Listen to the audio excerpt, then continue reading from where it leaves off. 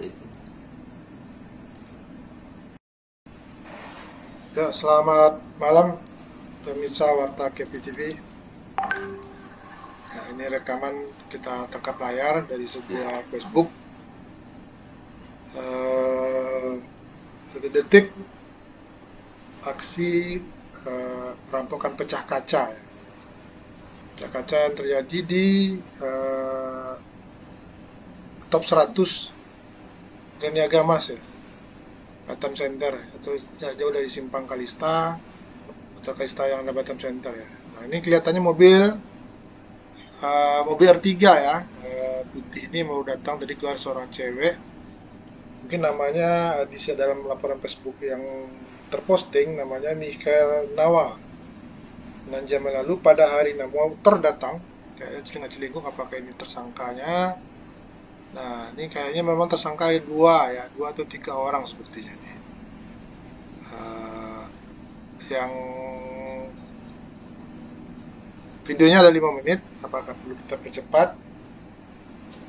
Oh ya, kayak dua orang ya, ini baju merah dan uh, kayaknya sepertinya udah mengetahui uh, mobil calon tersangka ini dari dari sebelumnya ya kenapa dia ngomong, kenapa dia lihat.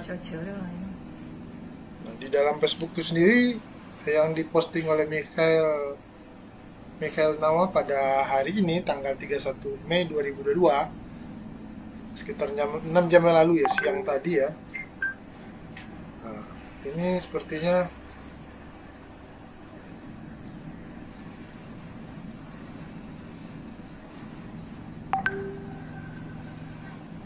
ada diputar hampir lebih dari 70.527 tayangan dan hanya beberapa komentar, 30 eh, komentar.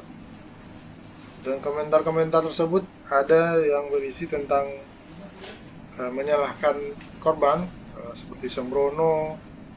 Ada juga menilai berarti kamu udah dibikin dari rumah. Di rumah diincor udah lama gerak-geriknya ya. Ini mari kita lihat. Sini nah ter tersangka berbaju hitam berpura nelpon bergaya telepon.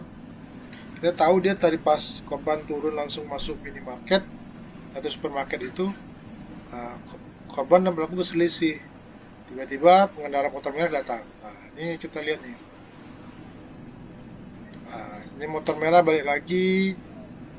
Sepertinya dua atau tiga orang ya jadi motor merah ada, berarti dua motor ya. Di sini kita lihat. Hmm.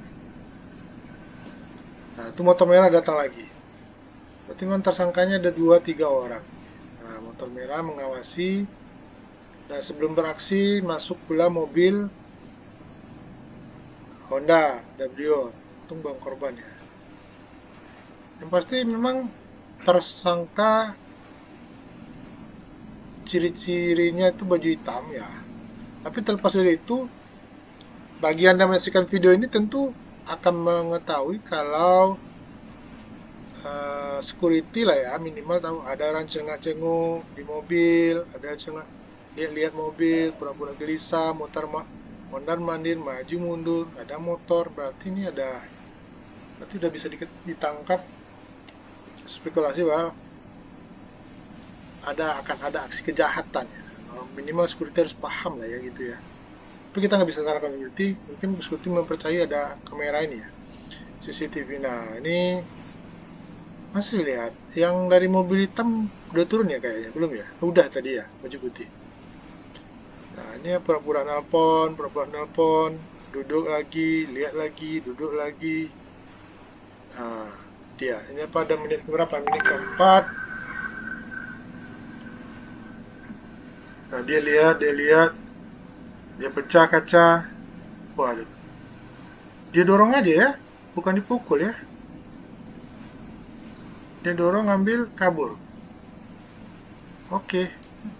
Cepat saja berarti memang Coba kamu cepatin pas aku keluar itu. Nah, ya. Ini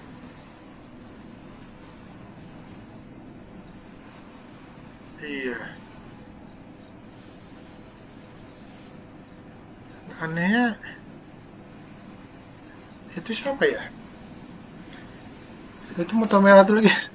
Apa ini bagian dari korup pelaku kah? Ah. ada CCTV katanya. Ya kejadian ini ada berada di Batam Center ya. Hmm. Batam Kota pada 31 Mei 2022 terima kasih. Semoga ini menjadi waspada bagi Anda semuanya yang yang biasa pergi ke minimarket sendiri naruh barang.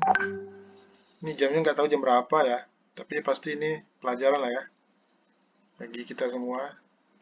Intinya ada yang cengak-cenguk di depan pura-pura nelpon, pura-pura nelpon balik. Ya, berarti akan ada beraksi. Terima kasih.